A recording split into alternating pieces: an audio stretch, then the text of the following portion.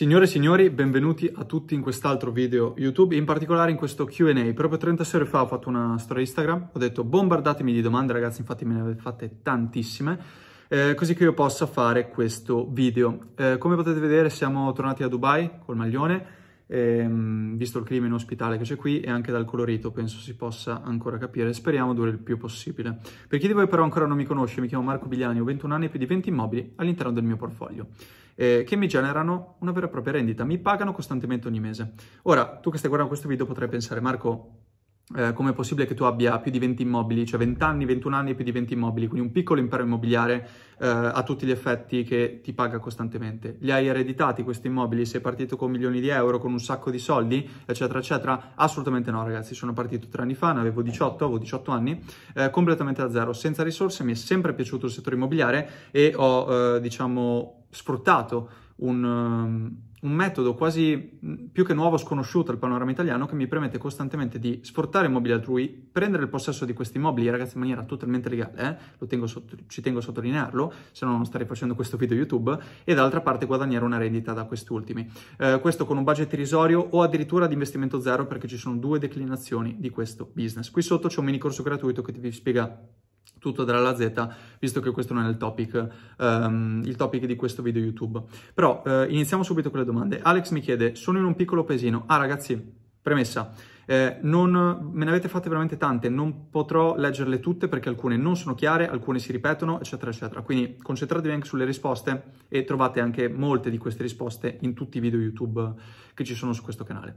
Alex mi chiede, sono in un piccolo paesino per lavorare con gli affitti brevi, mi devo spostare? Questa è una domanda. Allora, Alex, io arrivo da un paesino di 600 anime, Chiopris Viscone si chiama con la CH, CH iniziale, Chiopris-Viscone, cercalo su Google. Eh, cosa ho fatto quando avevo 18 anni? Ovviamente qui non, non, ci sono hotel, non ci sono Airbnb, non ci sono strutture, quindi era una zona che non poteva funzionare. Ho preso la mia macchina, ho preso il treno, la corriera, quello che potevo prendere a quel, a quel tempo e sono andato a Trieste, per esempio, nel capoluogo della mia regione a 40-50 km di, di, distanza, una distanza che in un'oretta appunto di viaggio, anche meno, in macchina 40 minuti, ci arrivo. Quindi ogni regione in Italia ha una, due, tre, quattro zone che potrebbe essere il capoluogo, zone particolarmente rinomate dove ci sono un sacco di persone che visitano la zona e alloggiano a breve termine per molteplici motivi, per lavoro, per turismo, per svago, per le lune di miele, per gruppi di amici che viaggiano, eccetera, eccetera. Dall'altra parte, per darti una prova concreta, c'è questo, questo appartamento che abbiamo a Campiglia Marittima, un paesino di 10.000 anime, quindi molto molto piccolo, ti metto una clip sullo schermo dove otteniamo costantemente queste prenotazioni,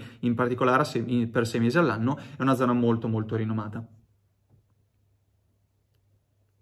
Quindi la risposta dipende, se sei in una zona, per, per, capire questo, fai una ricerca su Airbnb, fai una ricerca su Booking, vedi se ci sono delle strutture, degli hotel che hanno investito magari milioni di euro per tirare su questi, questi 20, 30, 40, 50 stanze eh, e vedi effettivamente se ci sono questi tipi di strutture. Se ci sono vuol dire che è una zona che funziona, perché tu avresti uno, due o tre appartamenti da riempire, non 30-40 stanze. Poi Cri mi chiede come fai a gestire problematiche su appartamenti in altre regioni? Bellissima domanda. Allora, eh, innanzitutto la risposta, tra virgolette, semplice, ma allo stesso tempo non è semplice fare tutto questo, è creando delle procedure. Quindi check-in, check-out sono completamente automatizzati, pulizie sono completamente automati- automatizzate, mi avvalgo di uno staff delle pulizie o la seconda possibilità è tramite dei PM, quindi dei gestori, appunto, io vendo ormai centinaia di studenti in tutta Italia, riesco ovviamente a scegliere, ehm, a scegliere questi PM, collaborare con loro e ti, ti do un 5%, un 8%, un 10% per risolvere magari eventuali problemi oppure un confisso, ti dico risolvi quel problema, ti do 100 euro per dire. Questo per me vale molto di più perché se sono per dire a Dubai, come sono stati gli ultimi tre mesi, o sono in viaggio o sono da qualche altra parte, per me mi costerebbe molto di più andare in quella zona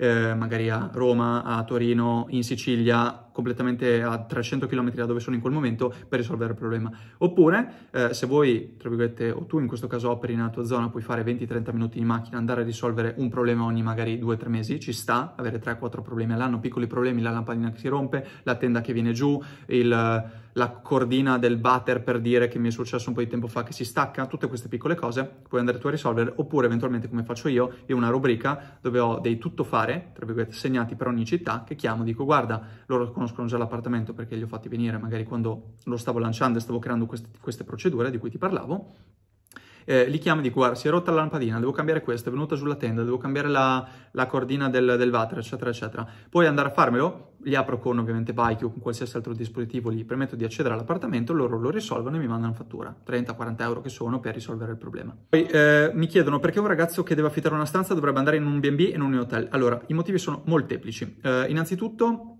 a livello di è molto più vantaggioso andare in un, per esempio, in un B&B. anzi, facciamo una premessa. È nata questa moda, tra virgolette, è esplosa questa moda del andare casa, in case altrui ad alloggiare. Perché? Perché costa ovviamente meno, è molto più vantaggioso, c'è molto più spazio, ci sono molti più servizi. Cioè se io sono anche una persona, io per esempio vado veramente raramente in hotel.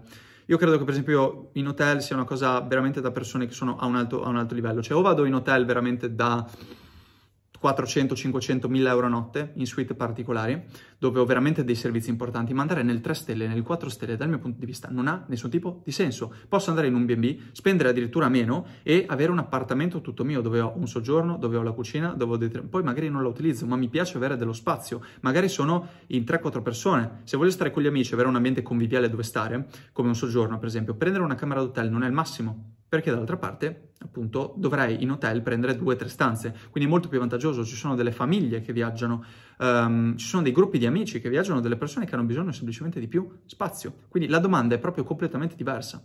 Poi la risposta anche più semplice è guarda come Airbnb o Booking, che sono aziende miliardarie, hanno milioni e milioni, decine di milioni di utenti unici, quindi che visitano, non sono ripetuti, sono unici che visitano la piattaforma, prenotano su questi portali. Poi, solitamente nei contratti c'è scritto no subaffitto, come agire l'ostacolo? Assolutamente sì. Io, come dico sempre, il subaffitto, ragazzi, è legale, non è illegale, è completamente legale, tutelato dal codice civile, articolo 1450, non vorrei sbagliarmi, magari vi metto uno screenshot qua. Cioè, una ricerca su Google e lo trovate. Ovviamente nei contratti di affitto, nella maggior parte di questi, è c'è scritto no al, um, al, subaffitto. Questo perché? Per tutelare ovviamente il proprietario, perché eh, molto spesso magari sono, i proprietari si sono trovati in situazioni dove si trovano una persona magari loschissima che prende il loro appartamento e poi ci mette dentro magari degli immigrati o chissà chi altro lo, lo divide in stanze, tira su dei muri, tutte queste altre cose qua. Quando in realtà noi non facciamo così, anche il bello di questa attività. Se io non avessi l'ostacolo del no subaffitto avrei 150 immobili a questo, a questo punto. Ehm, quindi dall'altra parte seguendo una procedura ci sono dei video specifici a riguardo, facendo capire al proprietario che io molto probabilmente sarò il suo ultimo inquilino perché ovviamente ho il massimo interesse a mantenere un rapporto da qui ai prossimi anni a venire. Pagherò costantemente l'affitto perché va nel mio interesse, manterrò sempre l'appartamento perfetto perché ne va della mia reputazione con gli ospiti e un sacco di altre leve, un'assicurazione, eccetera, eccetera. Eh, posso appunto affittare al proprietario, garantire la redditività che cerca e in cambio ottenere l'autorizzazione ad accogliere i miei clienti all'interno di quella struttura. Quindi glielo spiego, c'è un modo per spiegarglielo e ovviamente aggiro questa cosa cambiando la clausola da non è consentito subloccare a è consentito subloccare. Semplice, all'interno per esempio di chiave immobiliare, il nostro percorso di punta, di affiancamento per chi vuole partire da zero, ci sono per esempio tutti i moduli eh, di contratto pre- prestampati. Poi quanto costa eh, far inserire l'apertura e la chiusura di un appartamento con app? Allora, eh, il dispositivo costa pochissimo, ci sono in realtà molteplici, molteplici soluzioni. La più completa eh, c'è un abbonamento di 20 euro al mese da pagare per 12 mesi, um, non, non, c'è l'obbligo ma te lo dicono, puoi pagare 20 euro al mese per 12 mesi per esempio dove ti danno anche servizi aggiuntivi come la raccolta di documenti automatica, comunicazione alla questura, tutte queste cose che ti eh, salvano un sacco di tempo e, e mal di testa. E d'altra parte ti costa l'installazione più che altro dai 100 ai 150 euro più o meno, se la sai fare non ti costa assolutamente niente, oppure ci sono varie altri, altre possibilità, con Amazon puoi prendere la maniglia elettronica, puoi prendere la cassetta di sicurezza e magari con 50 euro te la cavi, quindi le possibilità sono molteplici. Per cercare immobili da subaffittare e negoziare col proprietario, tocca viaggiare inevitabilmente, giusto? Allora dipende, dipende se sei in una zona di particolare interesse oppure no. Se nella tua zona ci sono già tanti Airbnb, tanti, tante strutture, tanti hotel, eccetera, eccetera, che accolgono ospiti a breve termine, potresti non viaggiare. È ovvio che nel momento in cui devo prendere un appartamento in affitto e devo metterci dei soldi, devo assolutamente visionarlo. Quindi potrei recarmi in una città come sto facendo ora, magari per quattro giorni, vado a Torino, per esempio, 5 giorni, mi godo anche a Torino, mi prendo un bel appartamentino, sto lì 5 giorni, faccio degli appuntamenti, magari firmo un contratto, lancio l'appartamento e poi ovviamente automatizzo per non tornarci più per mesi, magari tramite magari anche un PM, tramite gli studenti con cui io sono in contatto, eccetera, eccetera. È ovvio che eh, se l'appartamento lo vuoi prendere a distanza, o è una persona sul luogo che va a fare l'appuntamento per te a vedere che l'immobile ci sia, che non ci siano dei danni, eccetera, eccetera, oppure ovviamente tocca a muoversi. Poi come ti organizzi per lavaggio asciugamani, eccetera? Semplicemente con la donna delle pulizie che li lava o in loco, nell'appartamento con asciugatrice, lavatrice, tutti ormai gli appartamenti ce l'hanno, o seconda possibilità con um, semplicemente un lavasciuga, uno di quegli a gettoni sotto casa, oppure gliele faccio portare a casa e riportare all'interno dell'appartamento il giorno successivo. Poi mi chiedono quanto costa il corso completo. Allora, di corsi ce ne sono molteplici, sono video percorsi, corsi, consulenze, percorsi di affiancamento, ce ne sono vari.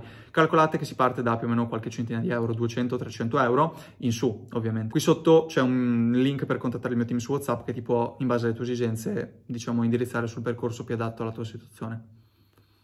Poi, come hai fatto a conoscere questo tipo di lavoro? Eh, torno a, mm, all'intro che ho fatto tre anni fa, sempre, mi è sempre piaciuto investire in immobili, mi è sempre piaciuto avere tanti immobili in cui andare, in cui recarmi, guadagnare in maniera slegata al mio tempo eh, e ho scoperto anche tramite ovviamente l'America, cioè studiando, insomma, vedendo in altre parti del mondo che eh, si cimentavano in questa attività, c'era questo cavillo a livello contrattuale che mi permetteva di prendere il possesso di un immobile senza acquistarlo, non godendo magari dell'apprezzamento, perché non ho acquistato l'immobile, quindi se l'immobile aumenta di valore io non, non ho questo beneficio, ma dall'altra parte ho il possesso, ho il beneficio del possesso di quell'immobile per 3 anni più 2 o 4 più 4, quindi per 8 anni posso guadagnare una rendita da questo immobile senza doverlo acquistare, quindi sono partito, ho fatto un sacco di errori, ho fatto un sacco di errori, ma dall'altra parte la cosa ovviamente ha ripagato.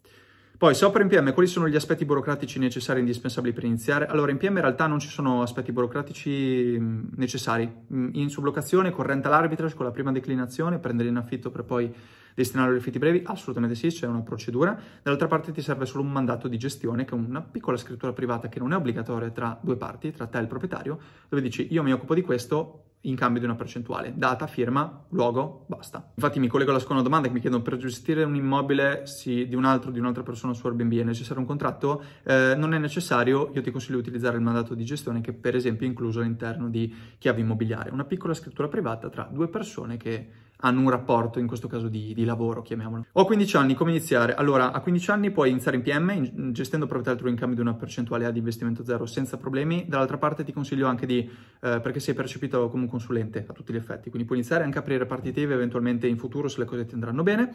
Eh, per operare con rental arbitrage devi avere un tutore per firmare dei contratti di affitto, quello è un pochino, un pochino il problema e ti consiglio di studiare, eh, prenderti per tempo, cominciare a risparmiare per poi arrivare a ridosso di 18 anni che ti assicuro arrivano così in un secondo um, arrivare a ridosso di 18 anni pronto. Poi, come funziona la sincronizzazione dei calendari su più siti? Quali consigli? Allora, ci sono due principali possibilità. Smobu, che è un channel manager, ce ne sono molteplici, smoobu.it.com, cercalo, per capire un attimo tutte le features, chiamiamole così, e uh, poi sincronizzarli manualmente, quindi copiando con una funzione su Airbnb e su Booking, se utilizzi questi due canali, prendere il, il link di, da Airbnb e incollarlo su Booking e viceversa, quando arriverà una prenotazione su uno dei due portali, bloccherà la data su ovviamente l'altro portale in, in contemporanea. Poi Vittoria mi chiede qual è stato l'ostacolo più difficile che hai dovuto superare. Allora, per, per restare sul topic affitti, business immobiliare, eccetera, quando c'è stata la pandemia, dove io comunque stavo ottenendo degli ottimi risultati, li ho dimostrati su YouTube in molteplici casi studio, quindi mentre tutti gli altri erano vuoti, io stavo comunque occupando il 60, 70, 80%. E diciamo che quando si sa, quando il sangue scorre per le strade, paradossalmente, scusate il parallelismo molto, molto crudo, eh, si possono fare degli affari, quindi mi è capitata la possibilità di prendere un appartamento molto bello, abbastanza costoso, era un investimento di 4-5 mila euro così su lunghi in un periodo ovviamente dove non c'erano certezze e ai tempi per me comunque era un investimento non scontato, eh, ho comunque l'ho voluto fare, ho superato questa paura molto importante e ho avuto dei benefici dopo eh, veramente importanti anche perché mi sono un pochino desensibilizzato, eh, ho perso sensibilità da quel punto di vista nel magari fare degli investimenti che in questo momento eh, a diversi livelli nella vita sono importanti per me. Poi ce ne sono ovviamente altri di ostacoli molto importanti che ho dovuto superare, ma magari sono più privati e te ne parlerò, ve ne parlerò in questa occasione in un altro video. Poi una persona può prendere più casi in affitto a suo nome? Ragazzi, assolutamente sì. Io non capisco perché abbiate questa, questa credenza sbagliata del um, non posso avere più contratti a mio nome. Ragazzi, non si parla di mutui, non si parla di finanziamenti. Voi potete avere 3, 4, 5 contratti di affitto a vostro nome senza nessun tipo di problema, anche di più. Charlie mi chiede, ciao Marco, volevo sapere se i contratti forniti nel corso a chiave immobiliare sono validi anche in Spagna. Allora, no, sono validi in Italia perché ovviamente ogni paese ha le sue diciamo, le sue differenze a livello contrattuale, quindi sono validi ovviamente in Italia. Poi mi chiedono, per iniziare già a lavorare è obbligatorio comprare uno di quei tre pacchetti di chiavi immobiliare? Allora ragazzi, non è obbligatorio fare nulla, nessuno vi obbliga a fare nulla, io sono partito per esempio senza nessun tipo di, di, corso, anche perché nel 2018, andate a vedere, non c'era assolutamente niente e nessuno, eh, neanche tuttora in realtà. Um, quindi tu puoi iniziare da solo, ma ci sono studenti che sono seguiti, hanno percorsi di affiancamento, vengono a fare le coaching private, fanno il mastermind, fanno il corso e ovviamente riescono a ottenere risultati in 30-60 giorni. Tu magari ci metti 7 mesi come me per ottenere il tuo primo immobile o magari fai degli errori madornali che ti costano magari 2000 euro dopo. Quindi questo ovviamente è normale, non avete skill, non avete competenze, è normale eh, se ci provate da soli potete farlo, assolutamente, anzi vi esorto a farlo perché ci sta prendersi anche qualche bastonata dal mio punto di vista fa bene, eh, cioè positiva, eh, perché poi vi fa crescere, per poi ovviamente magari affidarvi a qualcuno che vi possa seguire. Me, non me, altre persone, decidete voi. Consiglio di iniziare con, un, con una casa o con case in città turistiche, ad esempio Milano, Roma, oppure in grandi... Eh, oppure anche in città meno conosciute, meno rinomate, tagliata la domanda, ma credo eh, tu voglia dire questo.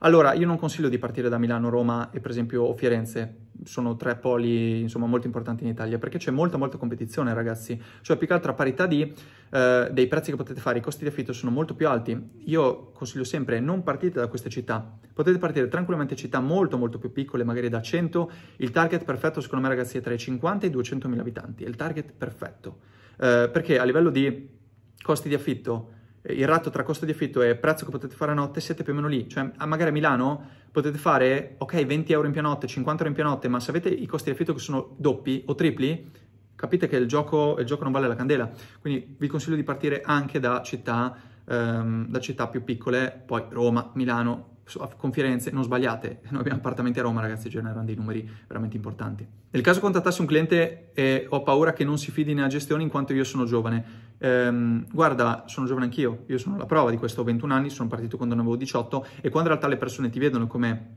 un individuo, eh, seppur giovane, molto preparato, molto professionale, molto eh, con obiettivi, appunto, sa quello che deve fare, sa come farlo, è sicuro di sé, guadagnerai punti, non li perderai, anzi, cioè le, una persona ti percepirà come una persona magari adulta, un individuo adulto, un professionista adulto, eh, ma allo stesso tempo, ehm, essendo magari molto giovane, avendo 18, 19, 20 anni. Quindi questa è semplicemente una tua credenza e non ci sono scuse. Nella fase di ricerca quasi tutti i potenziali proprietari di casa sono sotto agenzia. Come comportarsi? È normale che siano, nella, la maggior parte degli appartamenti ragazzi stanno sempre sotto agenzia immobiliare. Eh, c'è un metodo che è un attimo destinato a persone che hanno già un po' di esperienza, eh, non a neofiti, per collaborare con le agenzie immobiliari. Dall'altra parte eh, non ti servono tanti proprietari che, eh, con cui fare appuntamenti. Nel momento in cui trovi un proprietario, due proprietari a settimana per dire che eh, magari non ogni settimana, ogni anche una settimana sì, una fai di pausa, tra virgolette, perché non trovi degli immobili, la scorsa settimana, la settimana dopo escono altri due immobili e vai a fare appuntamenti, eh, basta così, basta, avanza.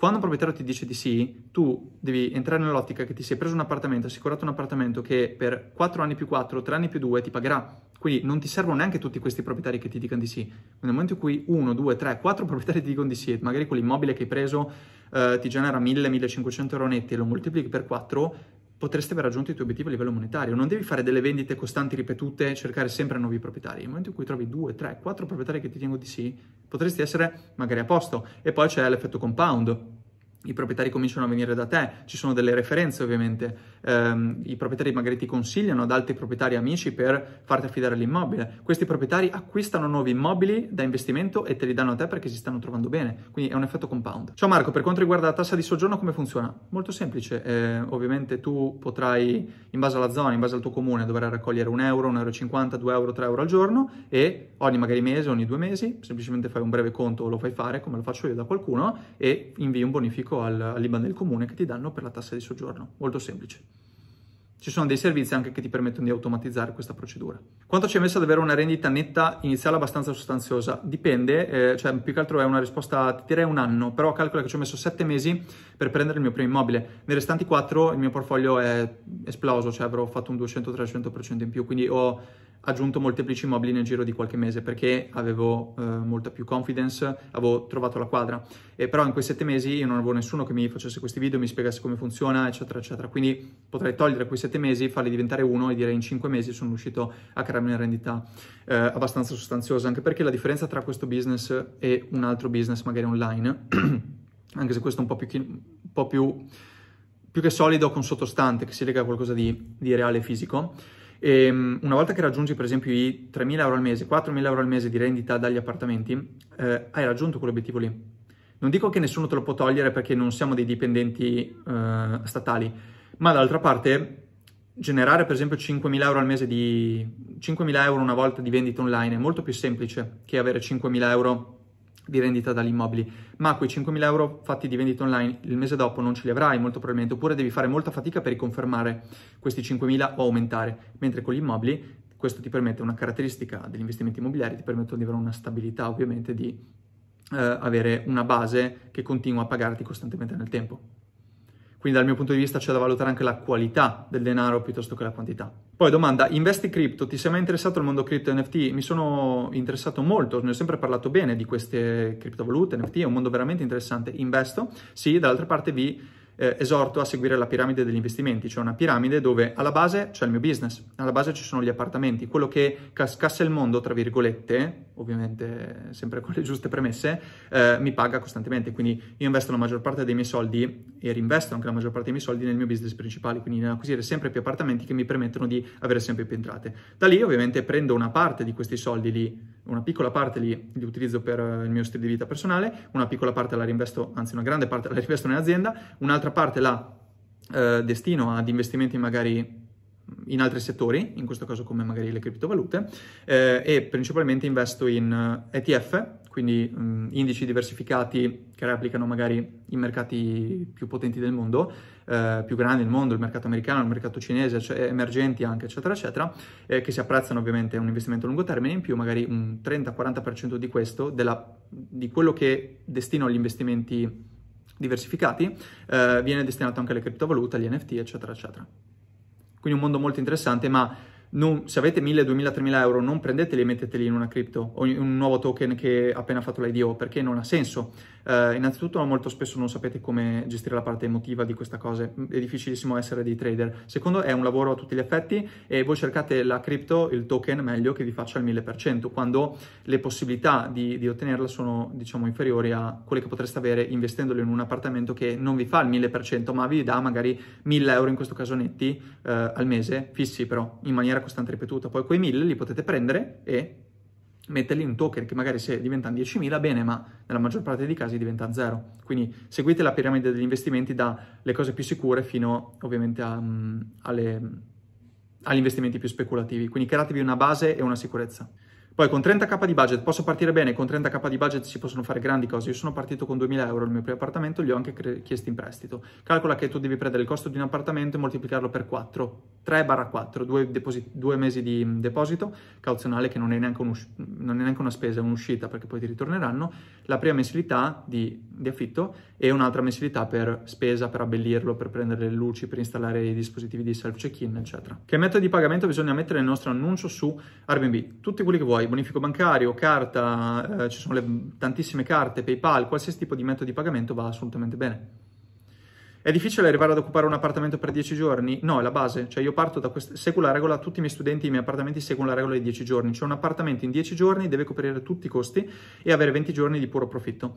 Funziona sempre così. Calcola che il mio periodo peggiore, l'ho dimostrato più volte, eh, ho messo un track record di 24 mesi in pratica. Di 12 mesi, ma ormai sono, ne sono passati altri 12, quindi ne ho messi 24, dove a gennaio 2020 ho eh, il mio mese peggiore, in pandemia zona rossa non ci si poteva muovere di casa, ho realizzato un tasso di occupazione del 43,3%. 43%. Quindi su 30 giorni ho occupato il 43% di questi che sono più o meno 13. 13 giorni ho occupato su su 30. Ovviamente in quel mese ho generato un piccolissimo profitto, quasi nullo, ma ho coperto tutti i costi comunque. Quindi non, ho mai perso un euro con questa attività. Questo lo dico senza problemi in maniera totalmente trasparente. Quello è stato il mio mese ovviamente peggiore. Vi faccio vedere gli alti come vi faccio vedere anche eh, i bassi. Quindi se un appartamento io non sono sicuro di poterlo riempire, di poter coprire i costi in 10 giorni, non è una buona operazione. Documentazione obbligatoria da chiedere al proprietario per avviare il PM. Ripeto, non eh, si collega alla domanda di prima, non c'è una documentazione necessaria se non il mandato di gestione che è incluso all'interno dei contratti.